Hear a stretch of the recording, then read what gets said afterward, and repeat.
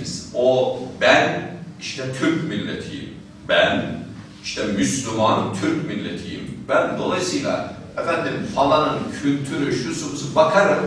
Ha bana faydalı olan bir şey varsa alırım ama yoksa ben ona ne güzel filan diye böyle bir hayranlık meselesi ya ben bir özüm var, benim bir geleneğim var, benim bir kültürüm var diye buradan hareket edilmesi gerekiyor. Yoksa kendimizi kaybederiz.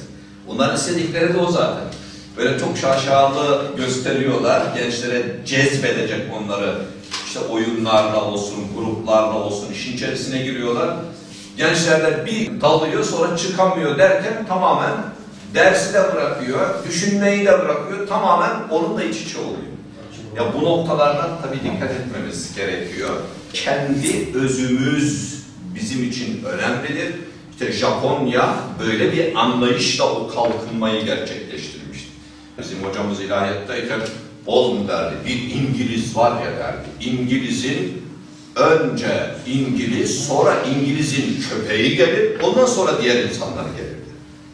Dikkat ediyor musunuz? İngiliz, onun köpeği, ikinci sırada bu gelir. Yani diğer insanlara geçmiyor. İngiliz'den sonra diğer insanlar demiyor.